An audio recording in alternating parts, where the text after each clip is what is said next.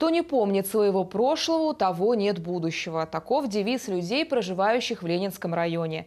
Здесь чтят и помнят своих героев. Несмотря ни на какие финансовые трудности, уже пять лет в районе издается серия книг «Люди нашего края».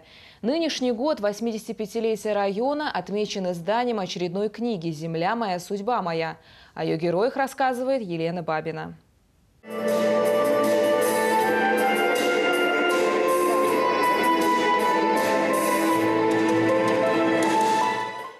Иванами да Марьями гордилась ты всегда.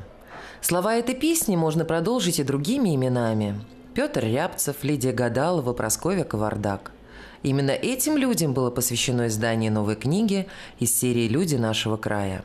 Ее героями стали выдающиеся личности, прославившие своим трудом совхоз имени Ленина и наш Ленинский район.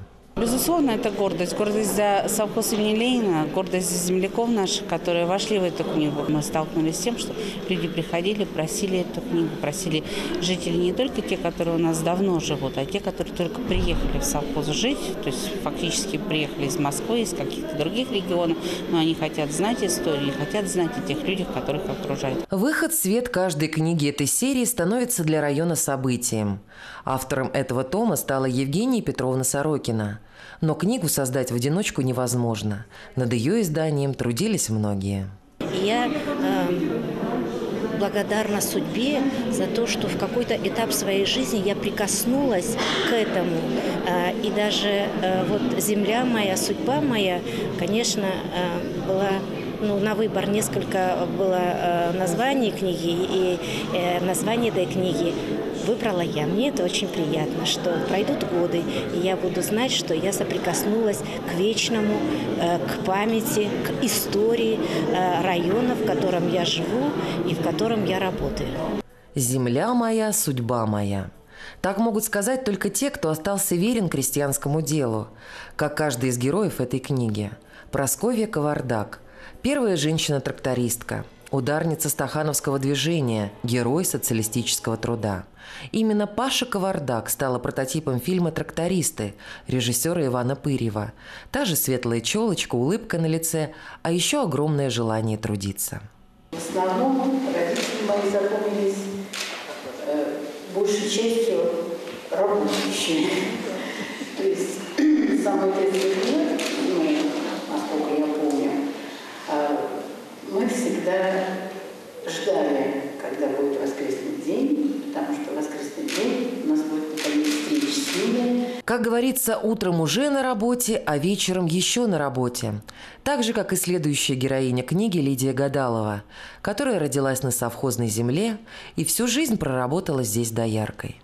Вообще труд доярки, да, это, я бы сказал, каторжный труд. Кто работал на селе, он это знает это не спать практически ночами, это забота, это в любую погоду, да, не только тяжелая работа, но это еще и работа, надо просто любить животных, чтобы, наверное, работать дояркой. Но свою каждодневную работу Лидия Семеновна смогла сделать трудовым подвигом. И Орден Трудовой Славы трех степеней стал свидетельством ее высокого мастерства. Причем первую награду она получила в год ее учреждения.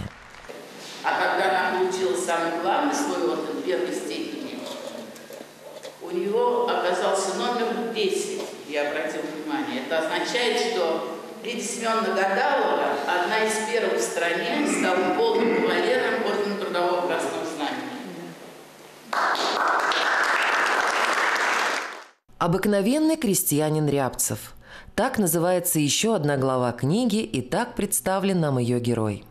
Его трудовые заслуги также отмечены высокими государственными наградами. Но земля наделила его самым почетным, как считает Петр Зинович, званием крестьянина. Он по сей день заботится о родной земле и верит в возрождение сельского хозяйства страны. Ну, нам другого не дано. Нам нужно иметь все свое. И я в этом абсолютно уверен. Есть у нас силы, еще сохранились э, определенные кадры руководителей, специалистов, которые а, а, вот, объединившись при поддержке государства, обеспечат нас сытной своей собственной свежим продовольствием. У каждого героя книги своя судьба, свой взгляд на мир и на жизнь. Но у всех у них, как и у нас, одна земля, на которой мы живем и работаем. Наша малая родина, которую мы все очень любим. Елена Бабина, Константин Брылов, Наталья Буслаева. Видное ТВ.